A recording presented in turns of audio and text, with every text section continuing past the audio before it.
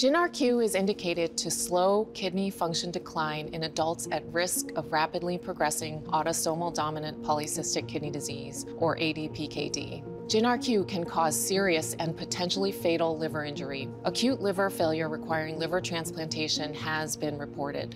Measure transaminases, ALT, AST, and bilirubin before initiating treatment at two weeks and four weeks after initiation then monthly for the first 18 months and every three months thereafter. Prompt action in response to laboratory abnormalities, signs, or symptoms indicative of hepatic injury can mitigate but not eliminate the risk of serious hepatotoxicity. Because of the risks of serious liver injury, Jynarque is available only through a risk evaluation and mitigation strategy program called the Jynarque REMS program.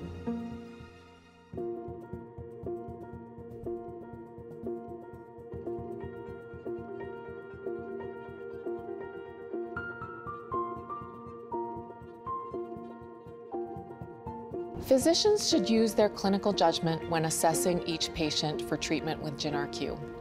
A good place to start is by examining your patient's kidney function, or EGFR. If kidney function appears stable in your patient with ADPKD, they may still be at risk of rapid disease progression.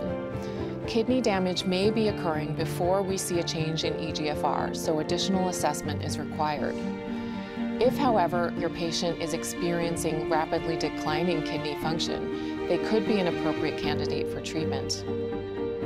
Today, I want to talk about patients with rapid EGFR decline in a little more detail. We regularly rely on EGFR to measure kidney function and to tell us how a patient's disease is progressing. This is important because each patient with ADPKD progresses differently. So, seeing a rapid decline in EGFR tells me a lot of what I need to know. At this point, I don't generally obtain a kidney size measurement or assess progression any further. I'm thinking about slowing kidney function decline. That is when I consider if Jynarque is appropriate. Jynarque is the first and only FDA-approved medicine indicated to slow kidney function decline in adults at risk of rapidly progressing ADPKD. In fact, it is the only disease-modifying treatment we can offer that has been studied in the two largest clinical trials of patients with ADPKD across a range of chronic kidney disease stages. So, if you see declining kidney function, it could be time to consider Jynarque.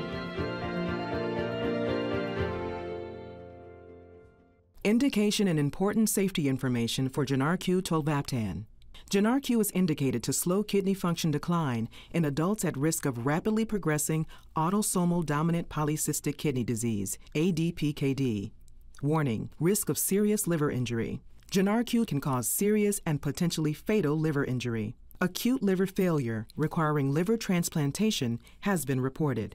Measure transaminases, ALT, AST, and bilirubin before initiating treatment at two weeks and four weeks after initiation, then monthly for the first 18 months and every three months thereafter. Prompt action in response to laboratory abnormalities, signs, or symptoms indicative of hepatic injury can mitigate but not eliminate the risk of serious hepatotoxicity.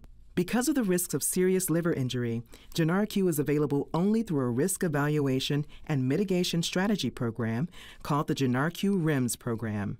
Contraindications History, signs, or symptoms of significant liver impairment or injury. This contraindication does not apply to uncomplicated polycystic liver disease.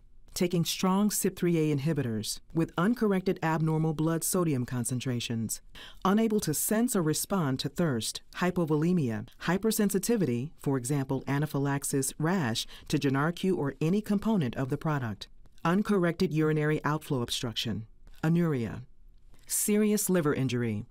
Jynarque can cause serious and potentially fatal liver injury. Acute liver failure requiring liver transplantation has been reported in the post-marketing ADPKD experience. Discontinuation in response to laboratory abnormalities or signs or symptoms of liver injury, such as fatigue, anorexia, nausea, right upper abdominal discomfort, vomiting, fever, rash, pruritus, icterus, dark urine, or jaundice can reduce the risk of severe hepatotoxicity.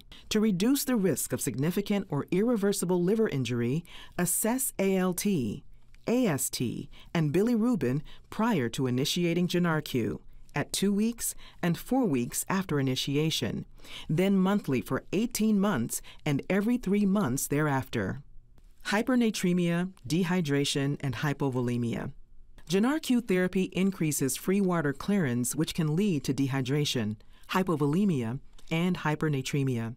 Instruct patients to drink water when thirsty and throughout the day and night if awake. Monitor for weight loss, tachycardia, and hypotension because they may signal dehydration. Ensure abnormalities in sodium concentrations are corrected before initiating therapy.